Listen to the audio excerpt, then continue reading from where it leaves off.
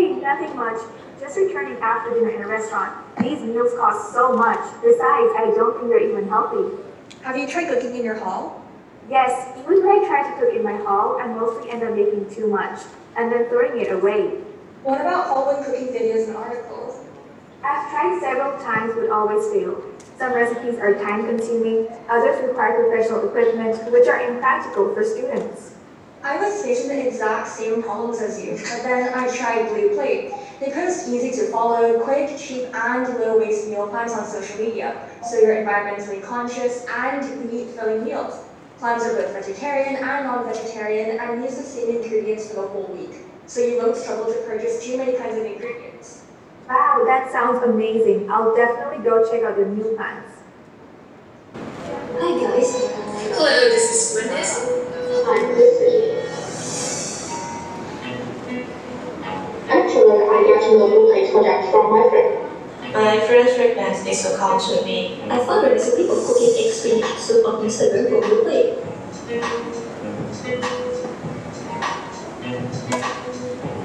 It's a simple soup only made of flour, tomato, oregano, and horse. One. With the blue sweet flavor. Well, it tastes so good.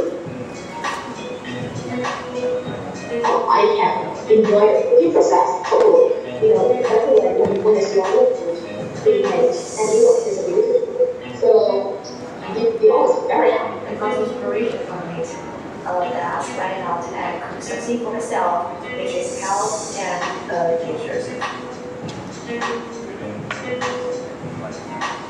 I think there are lots of recommendations in the Blue Plate project menu, and I'm looking forward to trying that as well. I highly recommend you guys to follow the recipe Blue Plate and subscribe it as well. Blue Plate is really great.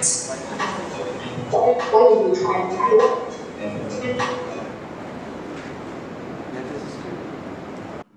Now you know what Blue Plate stands for.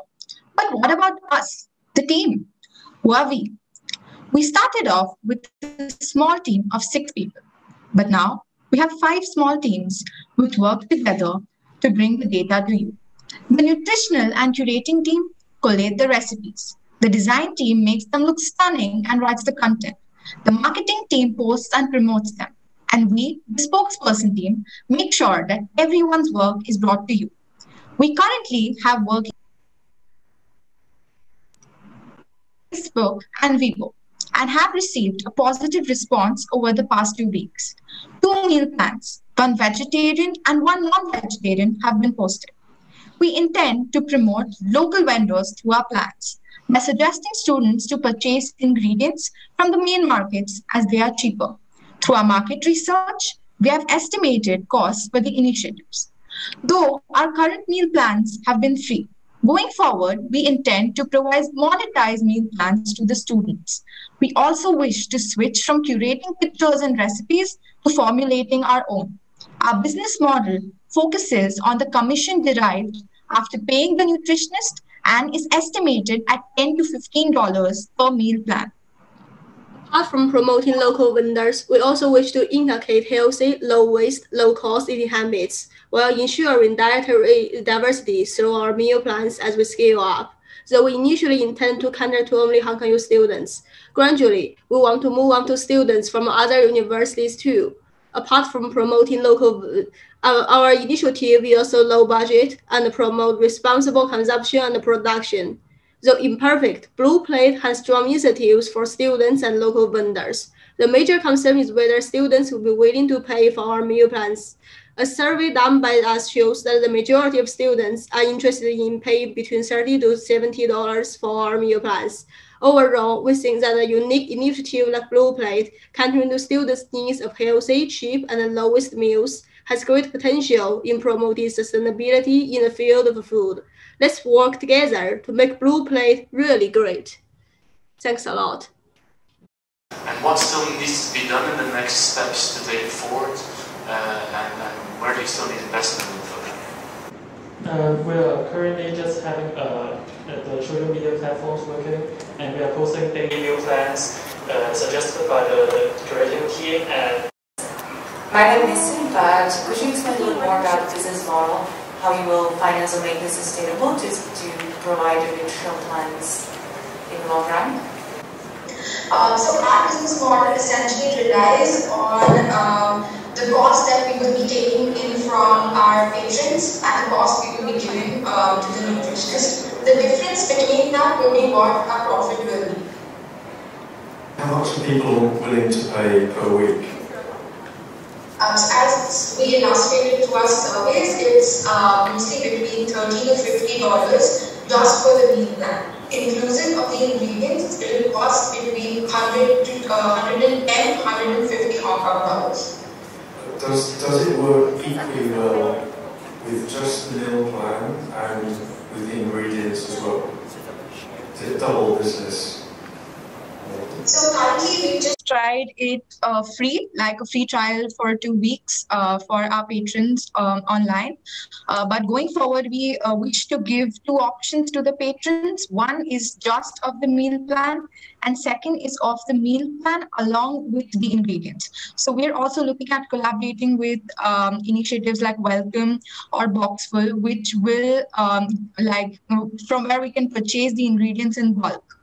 So that way, uh, the uh, students get the ingredients and they also get the meal plan. I actually think it's a fantastic idea.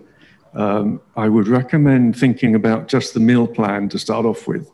Uh, all the startups of, uh, that try to do the second thing that you're um, suggesting um, have had a very long um, and difficult startup, and it's a very difficult business to survive in. But the idea that uh, of giving students who don't really know about these things some authoritative and adventurous eating plans that would demonstrably reduce their food budget but increase their health and nutrition um, while giving them the power, empowering them to sort it out themselves, I think is a no brainer. I'm pretty sure it could work. I'm just wondering if you could elaborate a bit on how this relates to resilience.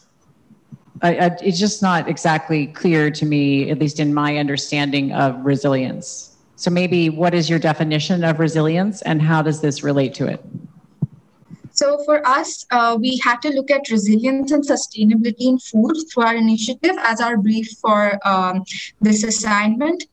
And hence, uh, we have looked at meal plans which um, are low waste, use the same ingredients throughout the week, are much cheaper than um, the uh, meals that the students are eating currently, and also uh, wish to promote more healthier eating. So that way, we think that we're promoting sustainability and also providing the students with um, resilience in terms of their eating habits.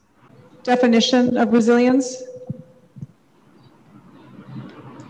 So for us, uh, resilience here uh, particularly refers to um, the capacity to recover from expenses uh, relating to food. So many a times students end up spending a bit too much on food um, and it's difficult for them to budget it, uh, budget it well. So through our initiative, we can uh, wish to promote resilience in uh, that manner. A question that I have is, can you describe the low waste aspect? Is that simply, my understanding of it is, is that, you know, the students are provided with a meal plan that's signed off by a nutritionist, but then it's really up to the student to go out and acquire the ingredients. Is that right? And so how do you guarantee low waste associated with that? So, um, as mentioned in our presentation, I'll, I'll, just quickly answer it in 10 seconds. As mentioned in our presentation, the students will be using the same ingredients throughout the week. So, um, when they're using the same ingredients throughout the week, they will be given um, a specific amount to purchase, and they will not be purchasing beyond that or using beyond that. So, that way, the waste of uh, the food waste is also minimized.